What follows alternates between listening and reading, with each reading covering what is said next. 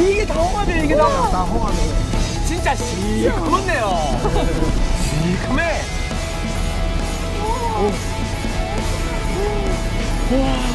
안녕하세요. 줄이 어디 올라오는 거예요? 별이 타고 올라오죠. 여기에 7월 중순에 해가지고 지금 따는 거예요. 여기에 자연에서 주는 선물이에요. 어떻게 보면 모든 간에는 너무 좋은 약이에요, 약. 어떻게 보면. 우와! 이게 지금 이야! 아까 그 한 줄이 못된 줄 우와! 저기 주렁주렁 매달렸어요. 너다지? 주렁주렁. 이건 바다의 포도예요. 아주 그냥 포도송이처럼 주렁주렁 열렸어요. 아까 거기에 이제 여기 이제 다 매달린 거 아니에요? 우와. 아, 요거 아니야. 우와, 선생님 진짜 잘 따신다. 예전에는 우리가 어릴 때만 해도 그쵸.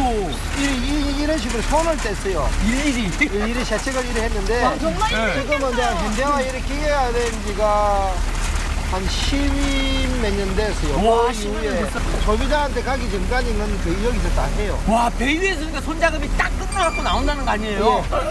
한번 요리 우유 추억이 들어주고 요리 우유 추억이 들어주고 우유 우유 살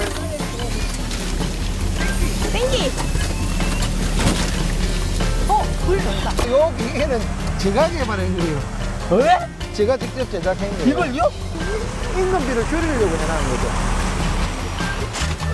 과거에는 홍합 채취부터 선별, 손질까지 모두 수작업으로 이루어졌는데요. 지금은 자동화 장비를 갖춘 채취선이 있어 선상에서 선별과 세척 작업이 가능하다고 합니다.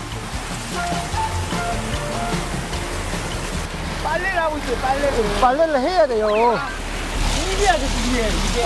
어, 다음에 어떻게. 언제 안 되겠어요. 여기 넣으세요.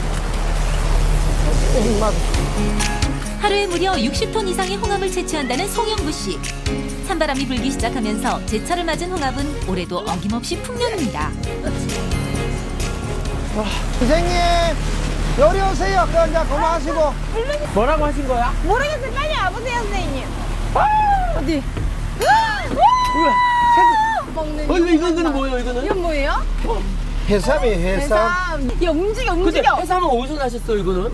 홍합에 딸려 올라요. 진짜요? 홍합 어장이. 홍합에? 예, 해삼에 많이 움직여. 있어요. 이런 거 많이 딸려오면 좋겠다, 그죠?